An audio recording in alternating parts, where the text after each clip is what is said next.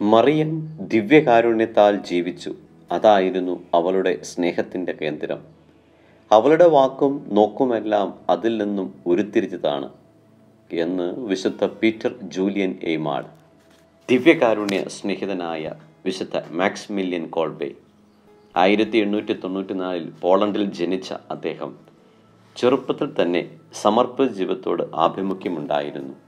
നവസന്യാസ കാലത്തിന് ശേഷം നിഷ്ഠയോടുകൂടെ റെയ്മണ്ട് അനുഷ്ഠിച്ചിരുന്ന ഒരു ഭക്തകൃത്യമാണ് ദിവ്യകാരുണ്യ സന്ദർശനം.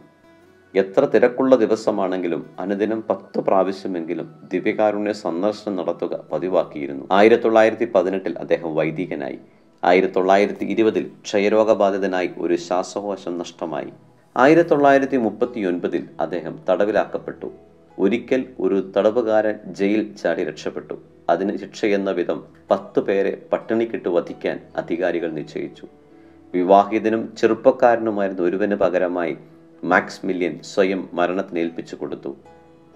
കാർബോളിക് ആസിഡ് കുത്തിവെച്ച് തന്നെ കൊലപ്പെടുത്താൻ വന്ന ആരാച്ചർക്ക് ആയിരത്തി തൊള്ളായിരത്തി നാൽപ്പത്തി ഒന്നിൽ ഫാദർ കോൾബെ ആവേ മരിയ എന്ന് പ്രാർത്ഥിച്ചുകൊണ്ടാണ് കൈനീട്ടിക്കൊടുത്തത് ആയിരത്തി തൊള്ളായിരത്തി എഴുപത്തി ഒൻപതിൽ ജോൺ പോൾ രണ്ടാമൻ പാപ്പ മാക്സ് മില്യൻ കോൾബിയെ വിശുദ്ധരുടെ പട്ടികയിൽ ചേർത്തു.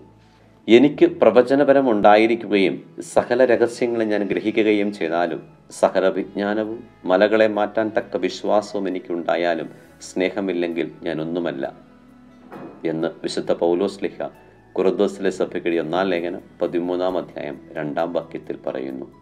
ദൈവമായ കർത്താവ് നമ്മെ അനുഗ്രഹിക്കട്ടെ.